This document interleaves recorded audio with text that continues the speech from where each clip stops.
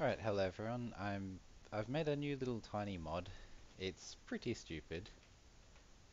Uh, but it's, you know, worth showing off, whatever. So we need just a testing ship. Uh, we need two orange.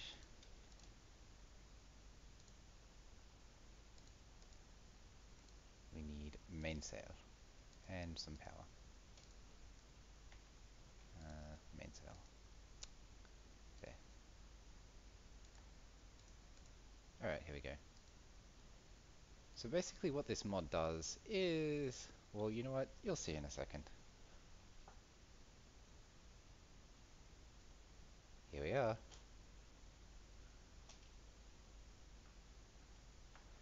So it changes the way the throttle works.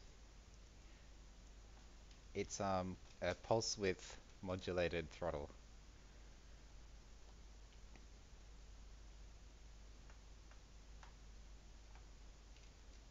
Yeah, it has frequency settings as well. I think it goes up to 20 hertz, I made it. Yeah.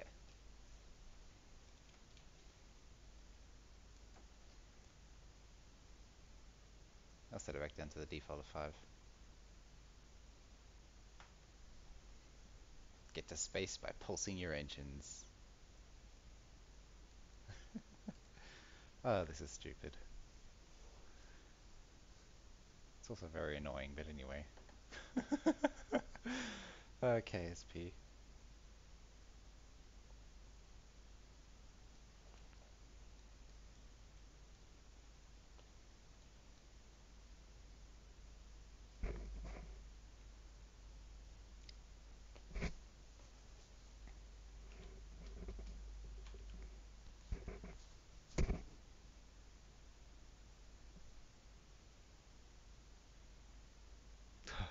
This is ridiculous.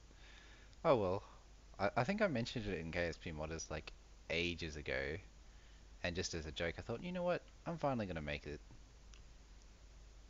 I'm gonna have my fun too.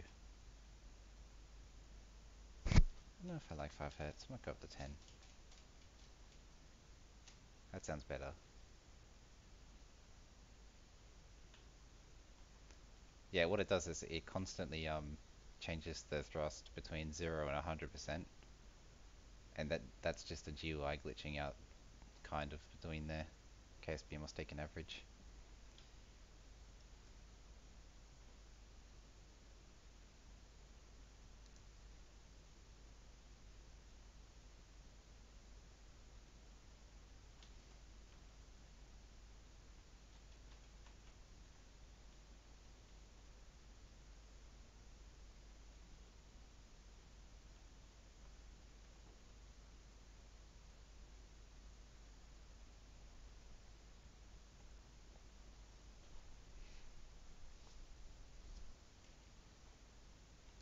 Get mode.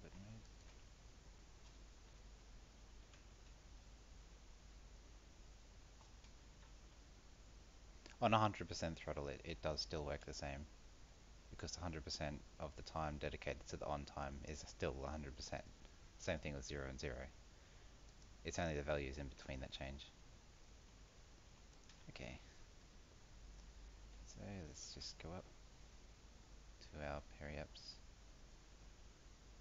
I'm actually testing this on purpose because I know this has around 5 kilometers of delta V, so it's enough to uh, get into orbit as an SSTO. It's also really, really, really simple to build. Uh, where are we? Yeah, we're at warping altitude.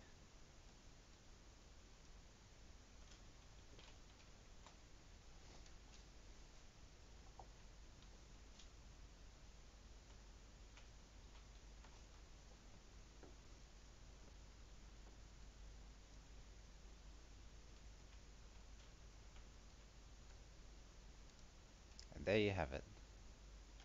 Rocket SSTOs with pulse width modulation.